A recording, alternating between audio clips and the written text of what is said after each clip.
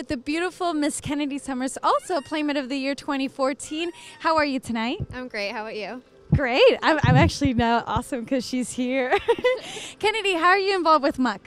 I am in Muck the prequel with you, and we're here to watch the premiere tonight. So we're pretty excited of the first one. are you are you like scared of horror movies, or you actually enjoy them? I hate them. I'm so scared of them. don't tell.